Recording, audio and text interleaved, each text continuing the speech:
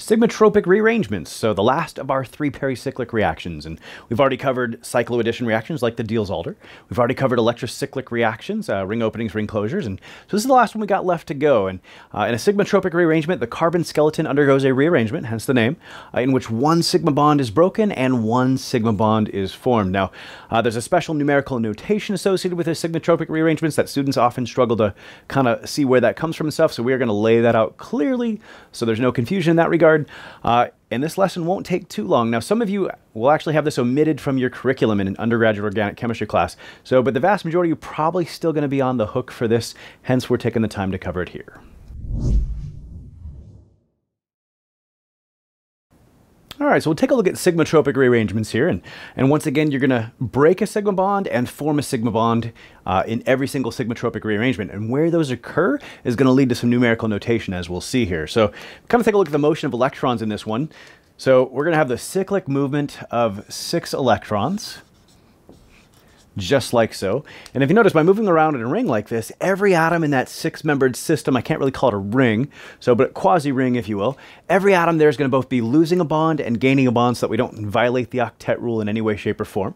So we are forming a new sigma bond right here, and then we're breaking a sigma bond right here. And where those are located in relation to each other, there's a, a numerical system in which we'll name, uh, or at least signify, our sigmatropic rearrangement. Now, I want to draw out the transition state in this case.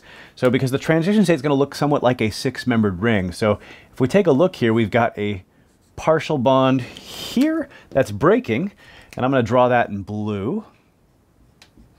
So, and then we've got a partial bond that I really put as a partial bond here, but technically it's technically it's a partial bond in the transition state. All right, but then we also got a partial pi bond for this one that's breaking right here. So we got a partial bond for one that's forming, one that's breaking, and one that's forming in all three of those locations. And so you can see this complete ring of partial bonds in the transition state. So our reactant's not a ring, and our product is not going to be a ring in a second either. But in the transition state, we have a ring-like structure. So just due to all the partial bonds that are forming and breaking.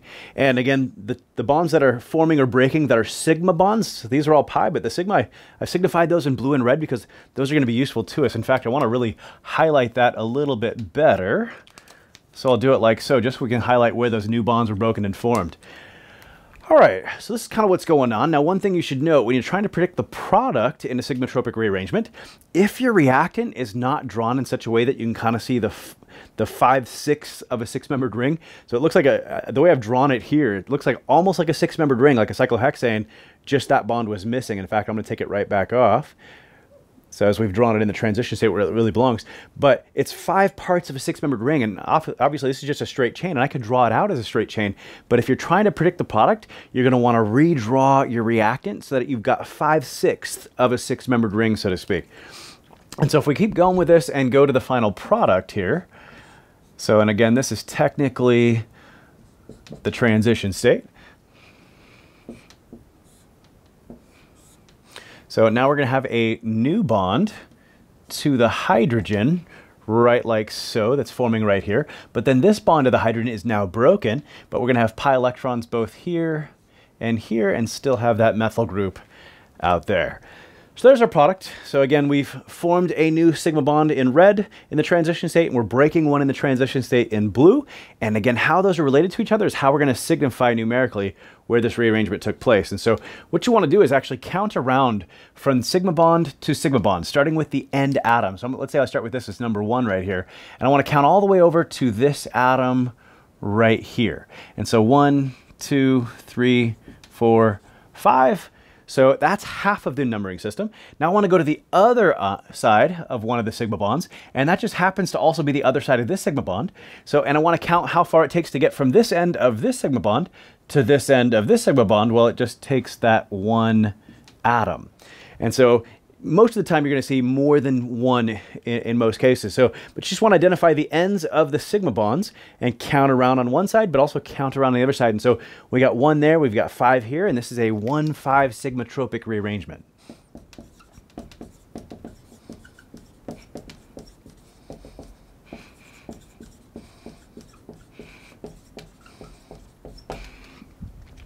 Cool. Now, this is probably not the best example to start with as far as that numerical notation goes, and seeing the one and the five, it'll be a little easier to see on this next example. So, but for every other respect, this is probably the best example to start with. So, because the rest of the reactions are going to actually have special names. So this next one is called the Cope rearrangement. And again, all these are going to involve one sigma bond being broken, one being formed, a six-membered ring-like transition state. I probably won't draw the transition state again. I'll probably just signify where we're actually making and breaking the sigma bonds on the reactant so we can get the numerical notation. But I did want you to see it once. So, but in this case, uh, they're going to get special names. Here, the Cope rearrangement turns out is a 3-3 sigmatropic rearrangement by definition. And so in this case, if we look at the cyclic movement of electrons here, we're going to form a new sigma bond right here. And then we're going to break one right here. So in fact, I'm going to erase that and redraw it in blue just so we can kind of keep track of it. And so once again, we've got the bond, sigma bond we're breaking there and the sigma bond we're forming there. And rather than draw the transition state at, at, all, I just want to show you how to identify it on the reactant then. So I just want to say how many atoms does it take to go from here to here and from here to here. And so we got one, two, three, one, two, three. It doesn't really matter which way you number it and stuff like this. So, but from one end of the sigma bond you're forming to the nearest end of the sigma bond you're breaking, it's three atoms included. So, and same thing on the other side. And that's why we're going to refer to this as a 3-3 sigmatropic rearrangement.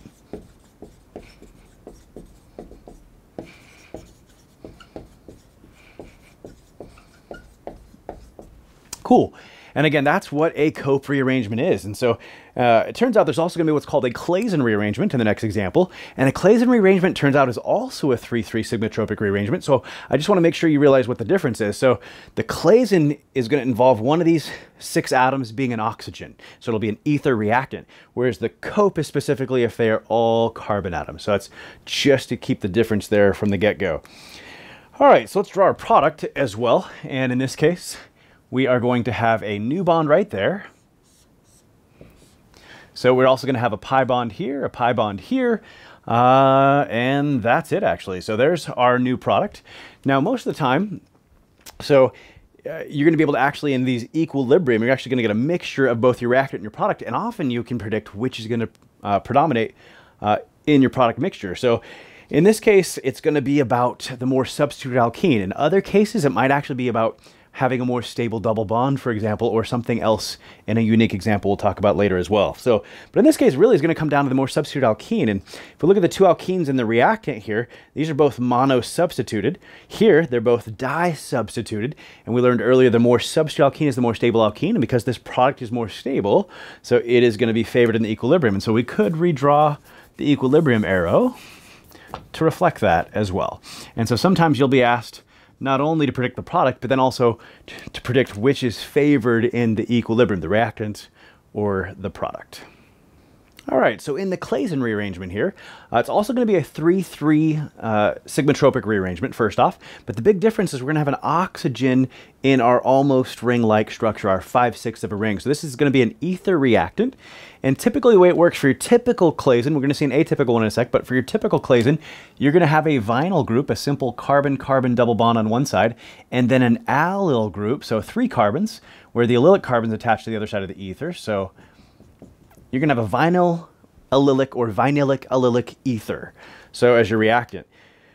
All right, we're still going to have the cyclic movement of electrons. And again, if your reactant isn't drawn in such a way that you can almost see the six-membered ring, then you're going to want to redraw it eh, into that conformation. Uh, we get the cyclic motion of electrons here. So we're going to form a new sigma bond right here. So, but we can see that we're breaking the sigma bond on the opposite side. So I'm going to erase that and redraw it in blue just so we can see that it's a 3-3 sigmatropic rearrangement once again a little more easily. So there's the bond we're breaking.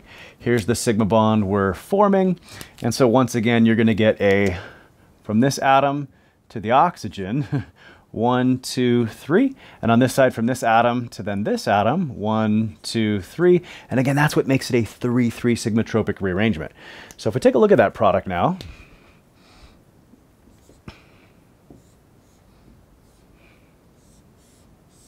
So we formed a new sigma bond here. We broke this sigma bond right here. Now we're going to have a carbon-oxygen double bond right there as well. We're also going to have a pi bond in this location as well. And there's your product. So, and again, we can talk about which of these actually gets favored in the equilibrium. But here it's not about having a more substitute alkene because here we've got two alkenes, whereas here we've got one alkene and then one carbonyl.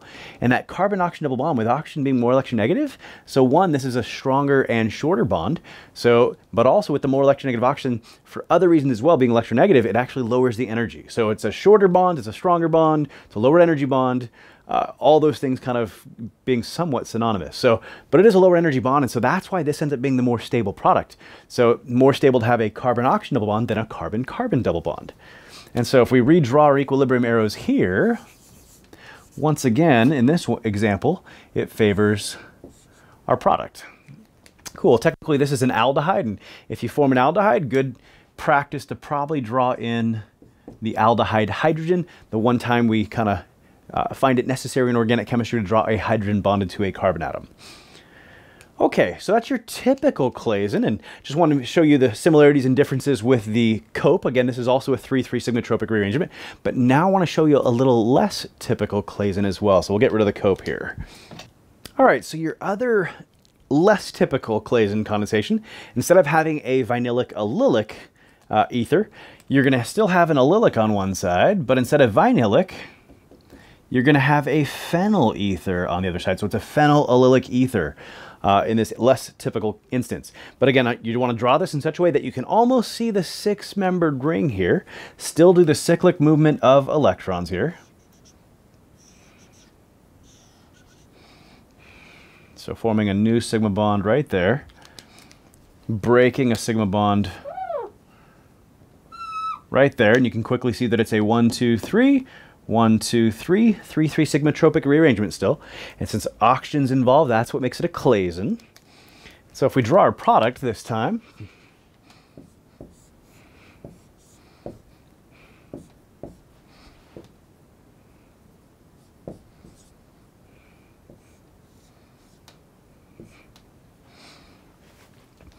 let's see if I forgot anything here. Nope, looks great. All right, so there's our product. And in this case, instead of being an aldehyde, it is a ketone instead. Great. Well, we didn't consider this possibility before, but we're going to consider it now. So it turns out whenever you form an aldehyde or a ketone, so you're typically going to have both keto and enol forms present.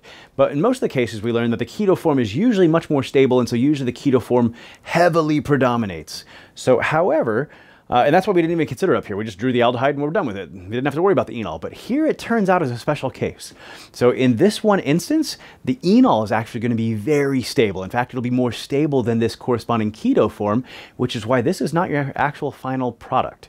So, and it's not normally something we check for, but now that you've seen this version of the Claisen, when you have a phenyl allylic ether, so you're not done once you form your ketone product. You got to go one further step.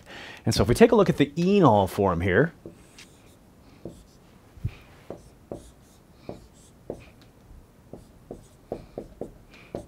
And so notice now we're going to have an alcohol and an alkene. And the big thing is not just an enol, like an alkene enol, but it's a phenol. So it's got a complete benzene ring, which is aromatic. So, and that's what's actually driving the stability of this reaction. So with it being aromatic, we're going to talk about aromatic compounds in the next chapter, but suffice it to say, they're very stable. So the uh, pi electrons in an aromatic system are significantly lower in energy even than a typical conjugated system. And so this extra stability turns out making this enol form, which is aromatic, much more stable than the keto form. And so in this case, that lovely pesky thing we learned back in the alkyne chapter called tautomerization is rearing its head one more time. In fact, uh, one more time before second semester is over, we'll see tautomerization and we'll see an, uh, a more stable enol form over a keto form. We'll see it in one other context as well, uh, but definitely not for a few chapters here. Cool, and that is the Claisen condensation. So all you pretty much need to know here. So two different versions of, or two different examples of the Claisen that are likely to come up. And so again, if you've got a vinylic uh, allylic, fairly standard, you're going to get a ketone or aldehyde as your product. So, but if you've got a phenyl allylic, so then it looks like you're going to get a ketone as your product. However, it'll tautomerize and you'll get a phenol as your product instead.